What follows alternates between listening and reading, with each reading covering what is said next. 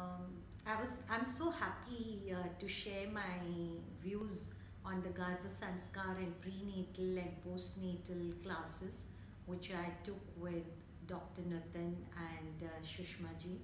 Although I was reluctant to join it first, but I'm glad I joined the class and um, I'm so happy that I joined the class and uh, they were amazing teachers, both Dr. Nutan and Shushma ji.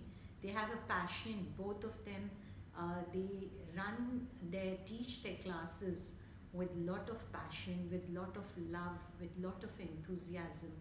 All the questions were properly answered and they were answered whether it was day or night.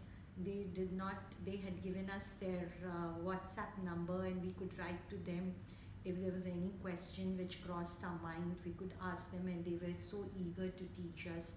And Dr. Nutan was uh, really has a deep knowledge of the sub subject Garbha Sanskar, which is the creation and cultivation of human life.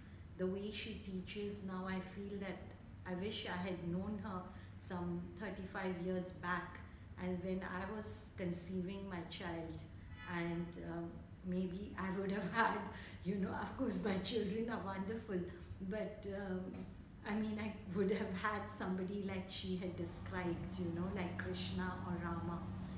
And um, it's really amazing the journey, the pregnancy, uh, the pre postnatal, the way you take care, and what exactly is the menstruation, how it happens, all these.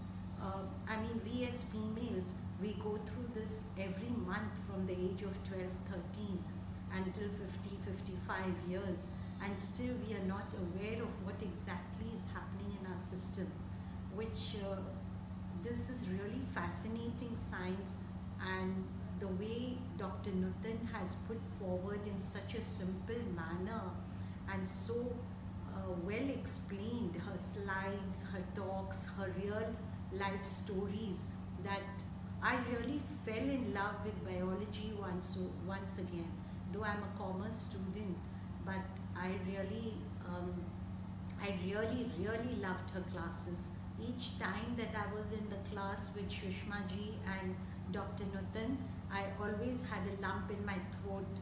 Uh, I was going through something, I felt.